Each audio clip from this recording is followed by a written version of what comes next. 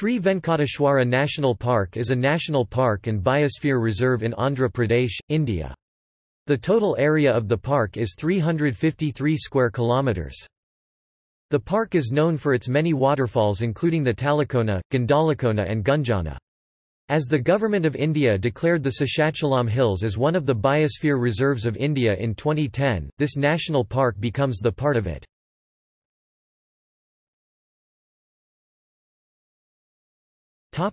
Geography The national park is located in eastern Ghats spread over the Seshachalam Hills of Kadapa district and Tirumala Hills of Chittoor district. The elevation varies from 150 to 1,130 meters. The terrain is undulating with forest-covered valleys. Most of the rainfall is received from the northeast monsoon and a little from the southwest monsoon. The vegetation here is a mix of dry deciduous and moist deciduous types. Average rainfall in the region is 900 mm. The average temperature of the region varies from 12 degrees Celsius to 44 degrees Celsius.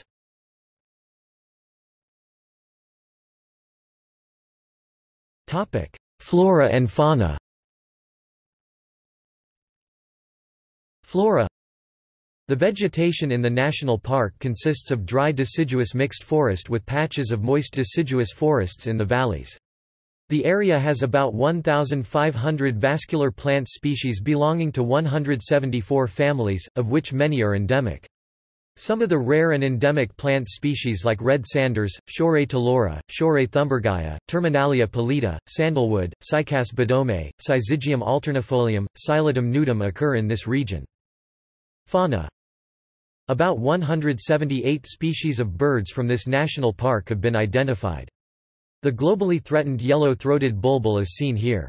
Gray-fronted green pigeon, a bird of the Himalayas and the western Ghats is quite common in these forests.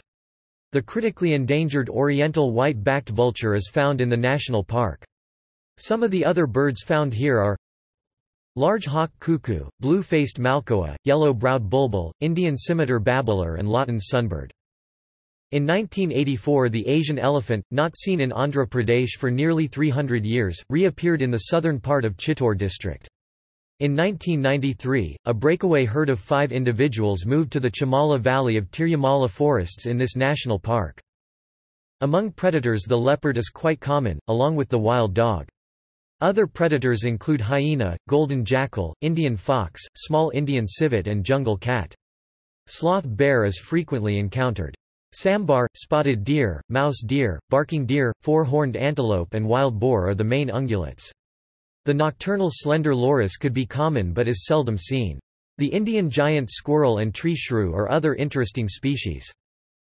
Among reptiles, the most interesting species is the gliding lizard, found in some deep forested valleys. Another important reptile of this national park is the golden gecko.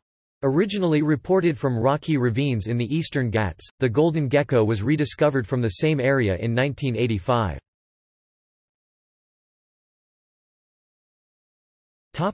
Threats The key threats the national park are construction and quarrying.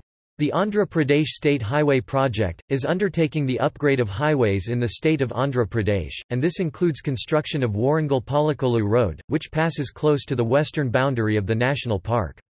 Another construction is of the Kapil Tirthan Dam inside the national park by the Andhra Pradesh government and the Tirumala Tirupati Devasthanam. Both these construction projects raise concerns over the potential impact of the road and the dam on the habitat and the wildlife in the sanctuary. Regular forest fires are also a constant threat to the biodiversity and ecological balance in the park.